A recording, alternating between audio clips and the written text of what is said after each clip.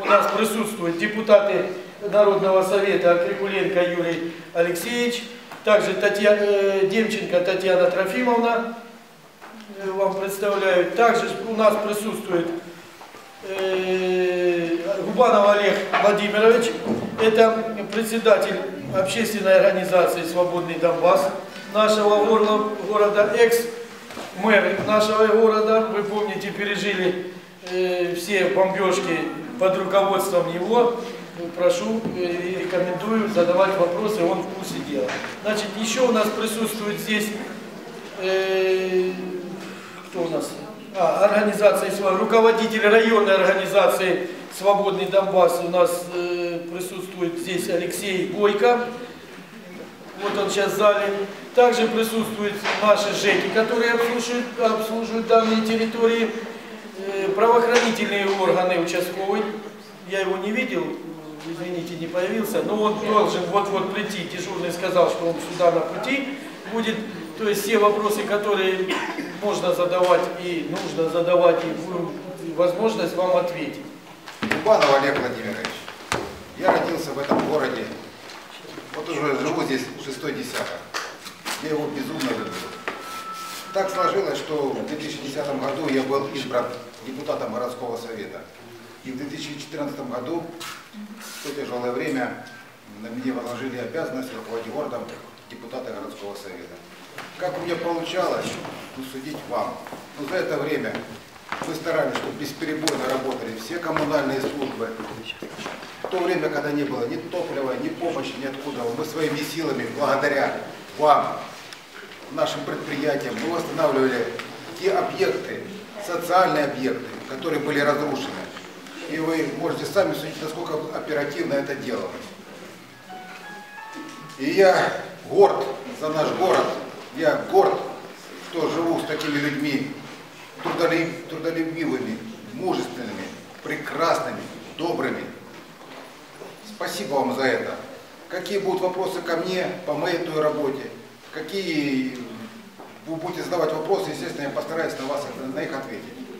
Также я еще являюсь помощником э, депутата Сереженко Александра Анатольевича и являюсь вице-президентом Федерации борьбы самбо Донецкой Народной Республики. Спасибо за внимание. У нас такой славный город, везде пишем Горловка город-герой. У нас здесь столько химиков, металлургов, шахтеров. Почему у нас нет мэра, представителя нашего города, как был? Почему нам везут с Янакиева, с Киева, еще откуда-то?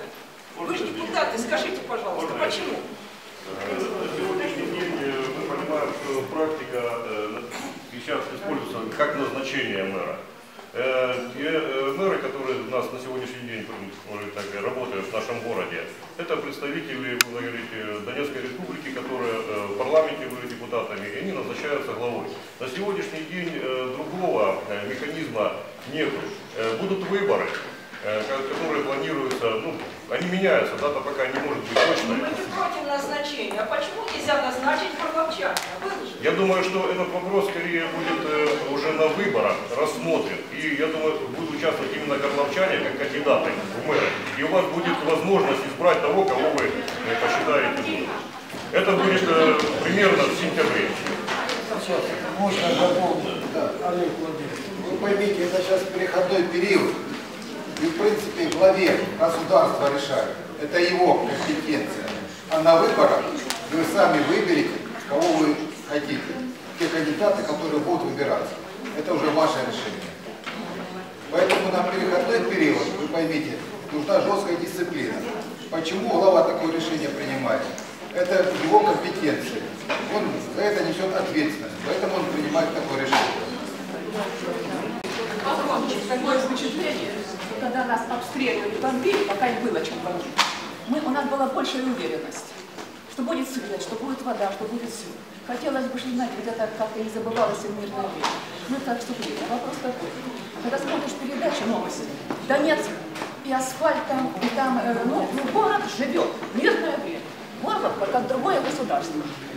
У нас единственное развлечение – это наш «Спартак», который не работает. И парк, который я обращалась к мэрам, Это уже третьему мэру, здесь был. То есть лет пять, один и тот же вопрос. Сделайте нам хоть единственную зону отдыха, наш парк. Очистите. Нам не надо там не, не весь чего. У меня есть тарификация, по которой производится оплата в ЖИК. Почему-то, во-первых, она напечатана на украинском языке. Это бог с ним, ладно. Во-вторых, она напечатана в гривнах. Опять бог с ним. В-третьих, э, начальник ЖИКа берет от себя, ставит какой-то курс, 2,83, пересчитывает, сколько платить. Назовите, какой же? Э, медицинская. Калинина. Нет, у вас на дверях стоит целый список, целый прескурант ваших работ. К примеру, вы должны сделать в подъезде, в подъезде ремонт. Вы делаете? Нет, вы не делаете. В санобработке они делают, знаете, как подошли вот так, киданули при мне лично и расписались. Всех мышей в этом году уже до этого Да. Мыши, вот я же говорю. А как вот это, почему у вас это написано?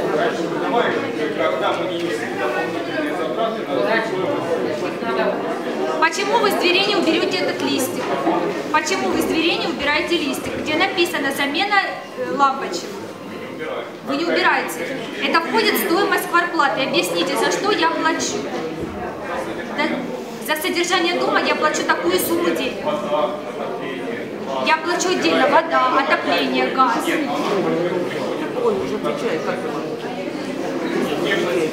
Я просто не сняла этот листочек с двери. По каждому пункту можно пройтись. Эти работы вы не выполняете. Я согласна платить дворникам за уборку, потому что они действительно убирают. И в подъезде заметает женщины. Все.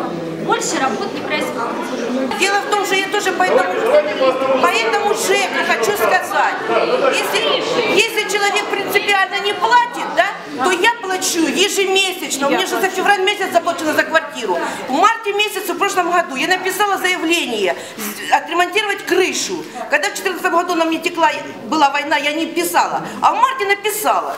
И когда пришли с комиссией на четвертый этаж ко мне, не ко мне, а к соседке, а я на пятом этаже, я ей я говорю, зайдите ко мне, посмотрите, у меня угол отвалился, все. Она мне говорит, вашего заявления у меня нет, я, я не пойду туда. И ушла. Даже если бы заявления не было, но это ваш объект, придите посмотрите. Она ушла. Я беру свое заявление, которое писала в двух экземплярах, иду туда к ним. А мне, знаете, что сказали? Ах, как вам не повезло. Начальник, который чемастер, ушел в отпуск и забрал ваше заявление, поэтому нам он его не оставил. Это смешно, понимаете как? До сих пор крыша течет, начали крышу, мне предоставили 7 тысяч, нужно было гривен летом в начале, заплатить, туда предоплату сделать. Хотя у меня долгов вообще не было по это. Мне нужно было предоплату сделать 7 тысяч гривен, понимаете как? И потом эта сумма подросла уже к сентябрю. Я не в состоянии была это сделать, понимаете, потому что операцию сделала все. Я свои проблемы не буду. Мне рассказывали там, поставили мне список, сколько стоит это все эти каких, э, сколько обойдется крыша в ремонт, что туда входит, какие цены. Отдали мне и все. Начали крышу крыть, когда пошли дожди. Все, дождь пошел, вот, и они прекратили. У меня как текло, так и течет, обвалилась и штукатурка, и все, и обои. Мой ремонт никому не интересен. Это недорого, понимаете? И шпаклевать, и гниль выводить, и прочее. А вот все остальное ценится. Вот и все. Вот это ЖЭК номер, я к начальнику Пролейте ходила. Он мне голову морочит, прячется, то он в Кондратьевке, то он все время где-то ездит. И больше ничего. Вот это работает. Можно я скажу? А я хочу сказать, вот вы все тут начинаете говорить, я хочу сказать, а не хотите ли вы сказать спасибо, что у нас есть свет, вода и тепло? В войну. Да, да, спасибо. Я лично тоже не платила, когда мне пенсию не платили. А когда только начали платить пенсию, я жрать ничего себе не... Я на 20 килограммов похудела, сейчас я отъелась. Я не, я не жрала ничего, я заплатила сначала за квартиру, а я в своем доме, хочу сказать, не... Да, если человеку не за что платить, пусть не пользуется светом. Но я знаю людей, которые вполне могут платить, принципиально не платят и думают, что проедут. Вот займитесь этим вопросом, разберитесь. Да, если человек не может платить, пусть... Подожди, да, Ты не я еще не сказала А ты мне ничего. рассказываешь. Пу- Пусть в каждом случае разберутся. Если он не работает, он не может платить. Не я один такой, у меня же Я- я- я-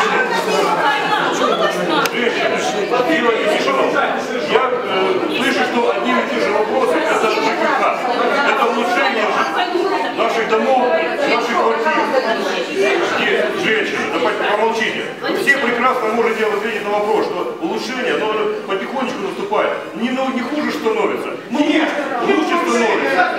Но не, но не так быстро. Мы тоже этим вопросом занимаемся и говорим.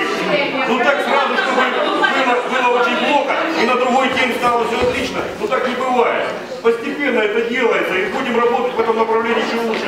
Вопросы мы собрались не ругаться, а собрались услышать ваши вопросы, ваши проблемы чтобы их решить. Поэтому вы э, сейчас не ругайте там меня там, или э, руководителя администрации там, или еще кого-то. Вы просто говорите проблему, озвучиваете. Мы ее сейчас записываем, записываем на видео, покажем потом это министру ЖКХ, министру топливной энергетики по поводу зарплат. Поверьте, мы там стоим за вами горою. И точно так же вот возмущаемся блядь, и добиваемся того, чтобы вы получили то, что должны получить. Мы с этой, вот, вы хотя бы, я вот на всякий случай можете выделить самого активного, самого любопытного, взять на экскурсию в парламент и поднимем, услышите сами, что это не пустые слова. Это все ваши проблемы будут озвучены. Вот выбирайте любого человека и назначаем дату, поехали. Э, Очень тяжело добраться. Полпятого. Уже нельзя добраться в коридор. Вот мой вопрос и все. Только давайте будем... Здесь сидят дети. И аккуратней со словами. Это вам. Сейчас он ответит. Что касается коммунальных услуг, я ну, на ЖЭКе, вот, ну согласитесь, и до войны, и, по, и во время войны, и сейчас до сих пор на ЖЭКе, ну всегда люди обижались. Ну я ни разу, например, не слышала, чтобы о ЖЭКах рас- рассказывали с восхищением. Ну, так случилось. Давайте сделаем так. Вот если вы знаете какие-то нарушения, если вы чувствуете, что вас обидели, ну обращайтесь, придем вам на помощь. Но платить, если есть такая возможность. Если есть такая возможность, повторяю, хотя бы немножечко, хотя бы частями нужно погашать. Потому что не будет поступления, хотя бы минимальные числа, кусочечками. Вот как вы можете, не будет зарплаты людям. Фонд жилой, он не будет восстанавливаться. Его же восстанавливают за счет коммунальных платежей. Поэтому мы, мы заинтересованы в этом, должны быть сами заинтересованы. Или мы хотим восстановить, или будем ждать, пока он восстановится. Конечно, ЦУМ помогает. И вот сейчас есть поступление, сейчас есть стекло, поступил рубероид, э, составлен план. Есть план, э, я вот сегодня обращалась к заму по ЖКХ, там поднимался вопрос, я по поселку Бандитов есть строительные материалы, составлен план ремонта. Вот э, ко мне сегодня обратилась женщина, вот я тоже буду понимать этот вопрос, она пострадала еще в 2014 году, а в плане она стоит только на август-сентябрь месяц. На пятом этаже у нее все течет. Вот. Поэтому э, мы сейчас эти вопросы все соединим, я себе кое-что записала, мы все соединим сейчас и будем, будем думать, как это делать. Что касается субсидий, что касается субсидий, мы поднимаем там этот вопрос, но нам, министрам, э, пока твердят, что они не разработали механизм выплаты субсидий. Когда они это сделают? Мы, их- если бы вы видели, как мы там ну, похлеще, чем здесь, мы там, ну, как собаки, вот понимаете, вот представьте, как собаки в этом народном совете ссоримся и доказываем, что здесь люди, что переживают люди на местах. Вот. Поэтому война у нас там идет жуткая. И эти вопросы мы еще сейчас все скомпонуем и опять пойдем, и опять будем шуметь. Но теперь, что касается транспорта. Что касается транспорта, я поднимаю, у меня транспорт это больной вопрос. Я поднимала и буду его поднимать, и на аппаратном опять подниму, и завтра пойду с этим вопросом по транспорту. Ну, понимаете, дело в том, что у нас так получилось, что перед войной у нас частный транспорт. И перед войной очень много автобусов, хозяева автобусов вывезли их на Украину. И у нас осталось... Да, подождите, я до трамвая, я до трамвая дойду. Не торопитесь. У нас вывезли очень много транспорта, поэтому с автобусом напряженка. Но напряженка, но вопросы решаемые. Я вот здесь маршрут, я все эти записочки с собой заберу. Здесь есть маршруты, я их скомпоную, телефоны здесь тоже есть. Я найду, как с вами связаться и постараюсь сделать все. Вот у меня маленький праздник, я на 6-7 добилась будет ходить автобус. Я постараюсь, что касается автобуса, сделать, чтобы у вас было ну, хоть как-то решить. Теперь, у меня поступила записка, у меня поступила записка, что детей не берут в автобус. Я вас очень прошу, я вас очень прошу, запишите мне номер автобуса и когда это было. И мы будем разбираться не с абстрактным, а с конкретным человеком, кто это Хорошо, сделал. это, это было вчера. Мне нужен номер автобуса, и я Это у нас желтый ходит, я не знаю, я никак его не было. это был пожалуйста, да. номер, У номер меня вчера, у меня какой мы живем в районе памятника, мы ездим сюда, дети мои ездят автобусом. И вот вчера это самое, э, люди все сели, а они самые последние заходили. Ребенок за руку взял, он прихлопнул руку ему И Дайте мне поехал. номер этого автобуса. Хорошо. Номер автобуса и Я не могу его теперь знать, выложить. Кто работает? Да, Да, я мы надеюсь, разберемся с он один человеком желтый, кто конкретно. первый. Один на них. Вот вопрос, еще такой вопрос, работа молодежи. Ну что могу сказать, с работы, да, с работы сейчас напряженка. Вы знаете, что у нас предприятия стоят. Я не могу сказать, что это, ну я вам решу сейчас этот вопрос. Ну будет открываться предприятие, будет появляться работа. Зарплата органов внутренних дел, зарплата органов внутренних дел, ну я не знаю, выплачивается на их. Ну выплачивается их. У нас даже на 50% не набрано количество, которое должно работать в полиции. Потому что бюджет, потому что бюджет, бюджет не позволяет. Ну, я вам- вот нам, как депутатам, мы, Юрий, Николаевич, Юрий Алексеевич нас представляет, мы два месяца без зарплаты. Мы второй месяц тоже не получаем зарплату. Нам ее задерживают, потому что в бюджете нет денег. Не. За трамвай, за трамвай, вот, Подождите, подождите, подождите, за трамвай я не могу вам, правда, сейчас ответить, за трамвай я конкретно подниму этот вопрос, я обращусь к ТТУ. Я могу объяснить. Дело в том, что мы сейчас, сейчас ждем около 20, по-моему, километров троллея, которые проведут и троллейбус до э, ДК «Ветеран». Там будет кольцо на квартале и трамваи. Нет восстановительных материалов. Но Ну ждем. почему восьмерка одна и идет и меняется на семерку? Единица и семерка беспрерывно. Там люди в городе, мы здесь нет. Да, мы едем одни пенсионеры. есть- если бы ходили хорошо, ездила бы молодежь. Утром с Тирол вся молодежь едет, все платят. Восьмерка ходит ужасно, и вы это все знаете. А в 4 вечера что делать? А вечером вообще. Радио добавили автобус. Насколько можно, все добавляем. Сейчас на молочный. Вопрос по поводу трамваев, я вам тогда конкретно отвечу, потому что правда, я не знаю как. Ну, Что касается собак. Что касается собак. Вот смотрите, этот вопрос поднимался у нас на уровне правительства. Сначала была идея их отстрелять, и была такое возмущение, прошла, люди возмущаются, требуют собак не отстреливать. Э, Что с собаками делать, вот этот вопрос висит в воздухе. Есть масса сейчас, есть масса предложений. Э, Пожалуйста, вносите свои предложения. Но опять же, вот смотрите, одни жалуются на собак, других подкармливают. Вот приедете на рынок, собак там. Пять, секунд. Мы детей боимся на улицу выпускать, они кидаются. Они У нас, сами дор- собак дорогие, дорогие мои, у нас есть вот люди делятся на любителей собак и те, которые ненавидят. Ну, собачники. Какая бы собака злая не была, какая бы неплохая, но есть люди, которые просто обожают. Это защитники. Они их не кусают. Да. Вот, ну, нет, и их тоже кусают, но они их все равно продолжают любить. Вот, теперь смотрите, маленький, маленький момент. Э, Собак разводим, собак разводим мы сами. Перестаньте кормить и собак подкармливать, и они перестанут размножаться. Это, это закон природы. Приюты, приют на сегодняшний не работает. Ну, самых агрессивных особей, я думаю, что надо будет все равно, ну, как-то их ликвидировать.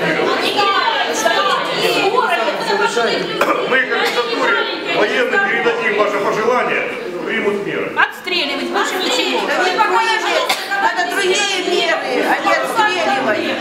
Зачем сюда к обращаться к животным? А, А если их не кормить, они будут еще злее. Они что есть, как это будут кидаться еще больше. Ну, такая неделя, а ты знаешь, даже в зале Еще транспорт, немного еще вот жалуются перевозчики на дороге. Вот мы сейчас затроили и эту тему. И они говорят, мы, короче, ну, убиваем реально автобусы, и мы понимаем, что тот тариф, который мы ну, вот, э, назначим, да, который мы с вами платим, он не окупает те разбитые, э, ну, ходовые автобусы, которые не убивают на дорогах. Поэтому они по максимуму делают то, что мы просим. Вот так вот просто уговариваем. А заставить не можем. Транспорт частный, правильно? Муниципального транспорта нет. Они и так идут нам навстречу. Когда дороги сделаны, а это начнется деньги уже под это уже запланированы. Пока делать, понятно, их невозможно. Даже засыпать нет смысла, потому что оно выбивать будет. Как только начнут дороги улучшаться, я обещаю, что транспорт тоже начнет лучше работать.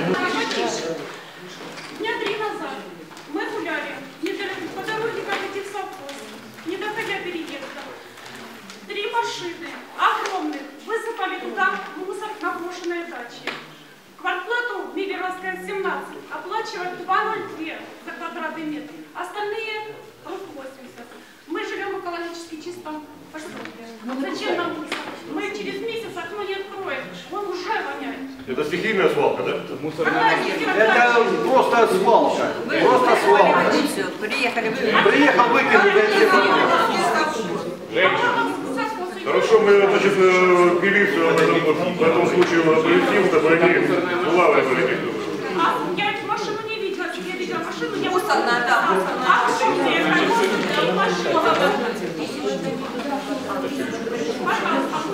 Еще такой вопрос к вам будет.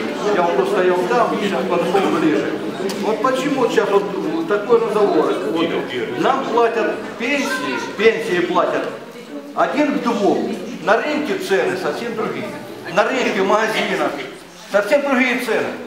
Я этот вопрос точно так же задавал. Потому что никто не контролирует. Должен его управлять, но на сегодняшний день мы понимаем, что в бюджете просто нет денег. Как только э, сейчас принят новый налоговый кодекс, э, в связи с этим будет уже нарабатываться и увеличиваться бюджет и пополняться. Я думаю, это все равно будет проиндексировано нормальным курсом, который должен быть. Я Потому что один дом, это вы вы примете этот код, и когда вы его примете, ну денег мы сейчас платим. Ну, это э, вы понимаете, что решение на более высоком уровне. как- Контроль цен нужен, вот правильно женщина сказала, контроль цен нужен. Не то, что только в одном Донецке, а надо же как-то еще в пол ДНР делать это все. Образование в комиссии работает. Вы просто не знаете, но уже много примеров, когда цены опустили до того уровня, который должен быть реальным. Я знаю свои ранения, просто-напросто и все.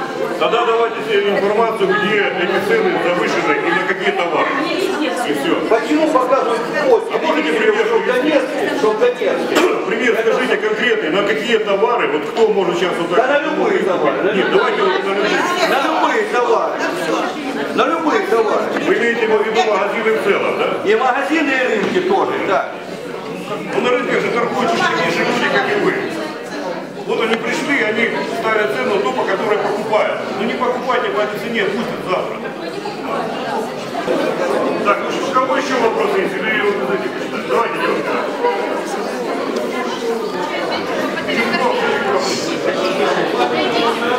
Папа директор получает. Э, Скажите, пожалуйста, на какие льготы вот ребенок, э, допустим, в автобусе на гуманитарку на какую-то, что-нибудь она имеет? На ребенка? Да. Как сколько лет ребенку? Девять.